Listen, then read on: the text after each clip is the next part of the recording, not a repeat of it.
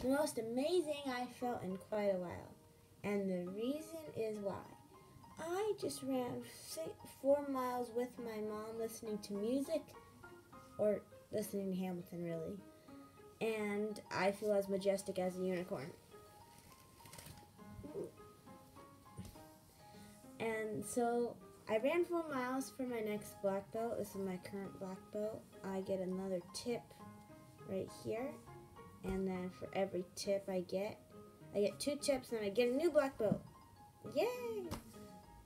And then, so I'm right now getting my first dip.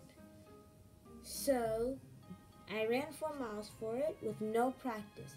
I've run before for black belt. That was just three miles, wasn't as long. But I practiced.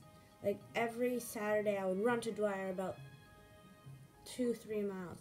Then I would walk a mile and a half. Then I would run back for three miles. A lot of work.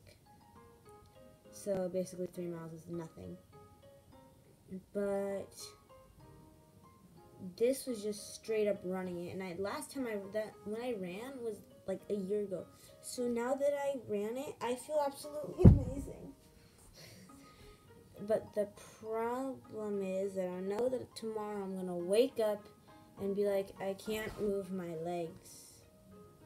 Why did you run, Sadie? Without practice. But for now, I'm living it up.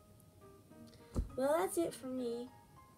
You are one of those cross country people just run four miles like it's no big deal or run the 10k aka five miles good for you you are amazing if not